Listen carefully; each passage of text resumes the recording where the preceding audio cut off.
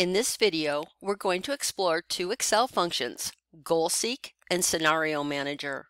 GoalSeek can be used by students to find out what they need on their final test in order to get a certain grade.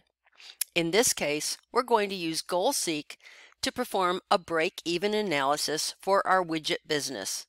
But before we get started, let's review some of Excel's formatting features. We've learned that we should always, when creating a spreadsheet that we're going to be sharing with other people, or perhaps not using for a while and will want to jog our own memory, always put a title into your spreadsheet. So let's begin by selecting a few rows, right-clicking and inserting so we have some space here at the top. And let's make this area look kind of nice by coloring in the cells.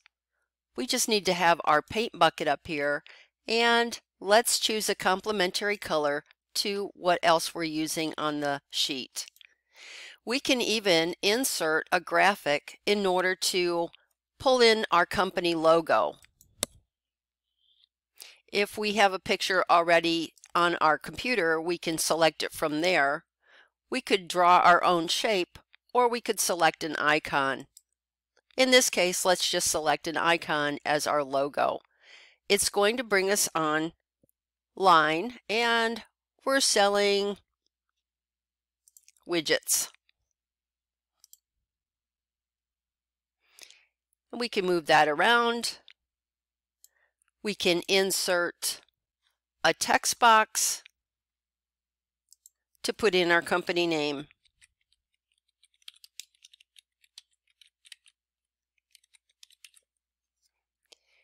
Let's go ahead and make that a little bit larger with a nicer font. We'll move that over and let's change the color of our text. Okay, so that gave us some options here to make our worksheet look a little nicer. Now let's get down to business and look at how to do the break-even analysis.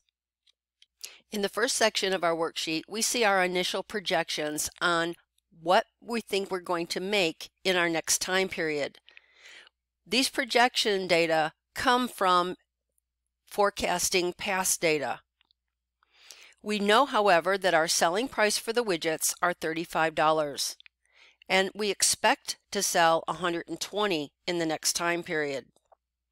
That would mean our revenue B10 times B11 is $4,200.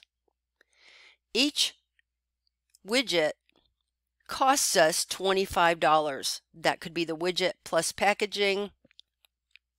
It's a cost per unit. Our variable costs then are the cost per unit times the projected units that we're going to sell.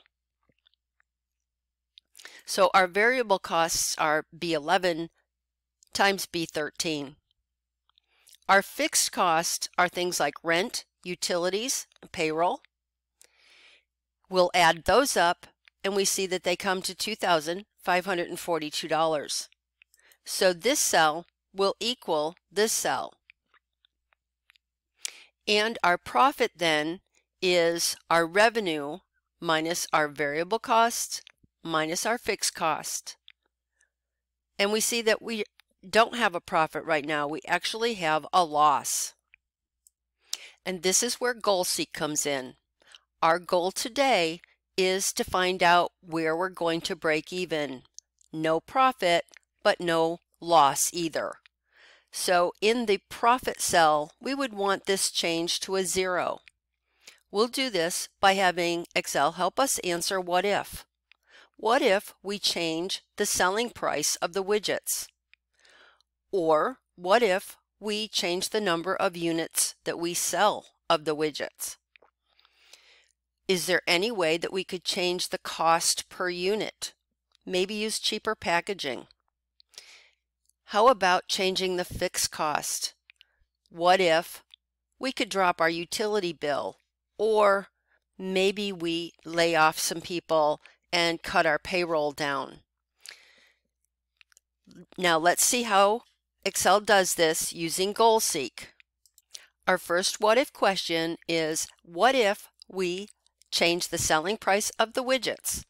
What would that price need to be to make the profit a zero? We'll start in cell B30 because this is where what we want set to zero.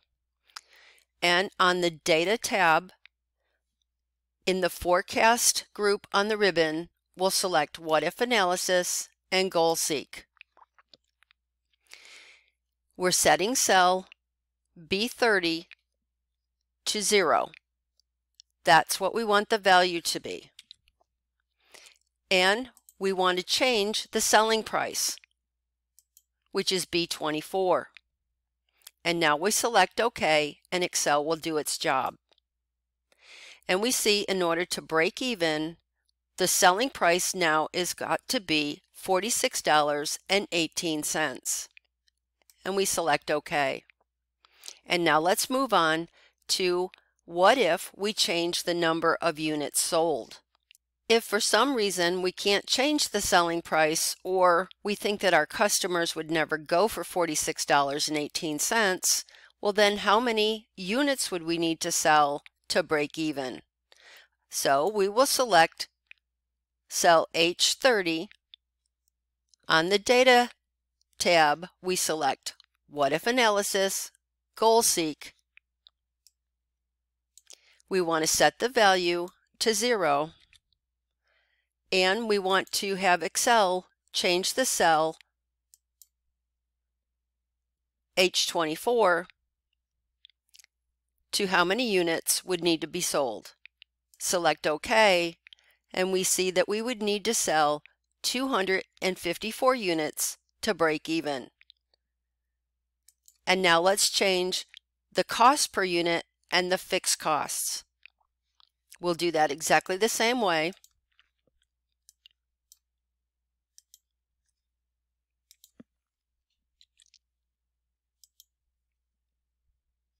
Cost per unit. We would have to bring our cost per unit down to $13.82. So that's some serious packaging changes. And last, let's look at changing the fixed costs.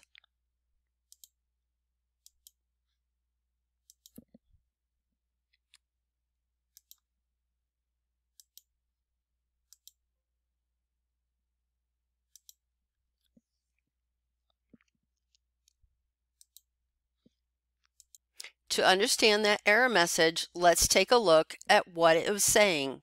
The error message said that it needed to have a value. When we select the fixed cost cell, we notice that the formula is used, not a value. So we need to change this to a number. We'll just go ahead and type in 2,542. And now let's see how GoalSeek works now.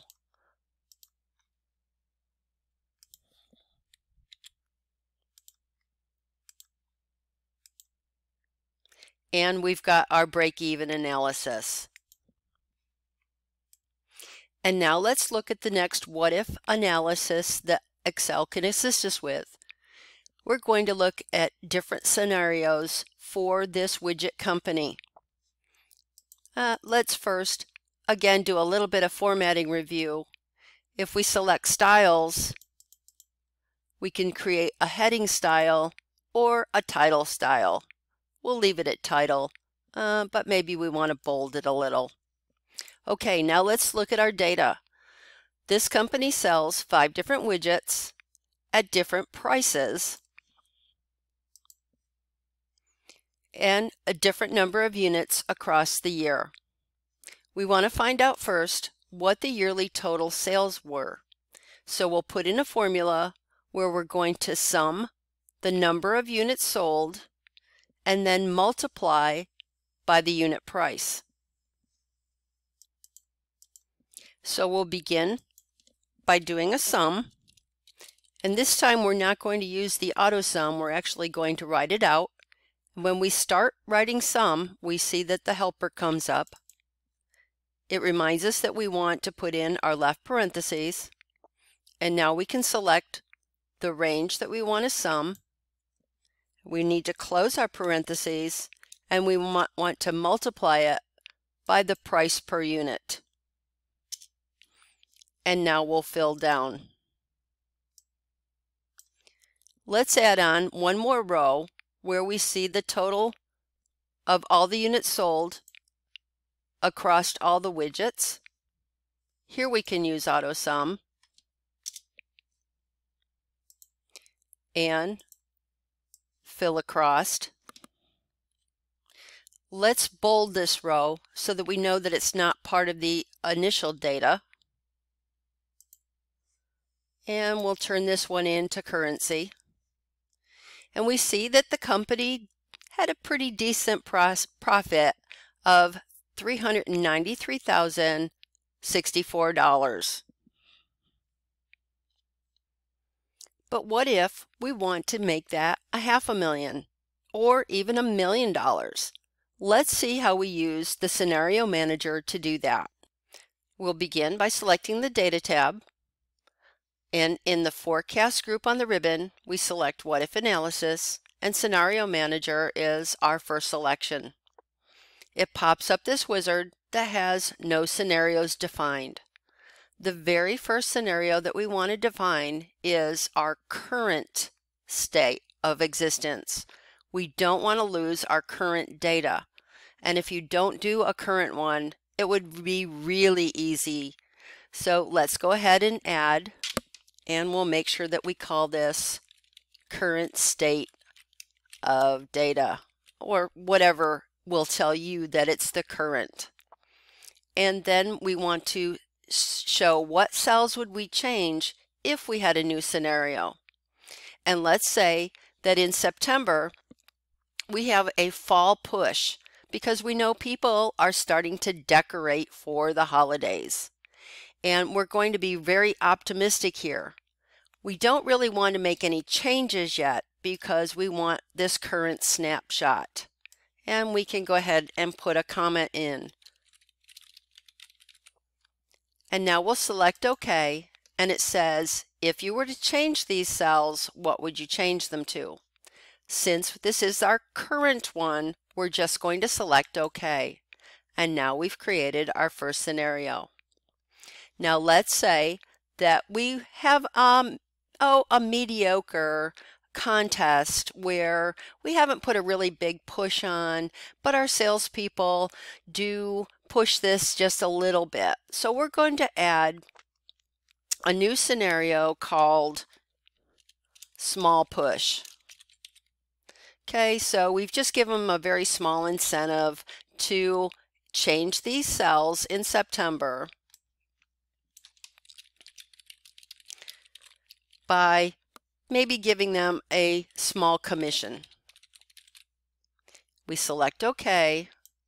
And let's say that because we offered that small commission, we were able to change each of these by 100. So this would be 228, 308, 302, 279, and 230. And now select OK. And nothing's really changed yet. We've just created a scenario. So now let's do a new one for a large push. We're going to give them a pretty healthy commission if the cells in September were to change. So large commission. And we've given them a lot of incentive so now instead of only increasing by 100, let's be really optimistic and do it by 200. So this becomes 328, 408, 402, 379, and last 330 and select OK. And now we can see what happens to our bottom line if we were to go with a small push. We'll select small push and select show. And we see that we've gone up pretty significantly for only having a very small commission. If we compare our small pu push to our actual data, we see that we went up about $16,000. Not bad. Now let's see our current data compared to if we were to do a large push and offer a better commission. Wow, what a difference. So that's Scenario Manager and how you can do some comparisons. But make sure that you don't close out without going back to the current state of data.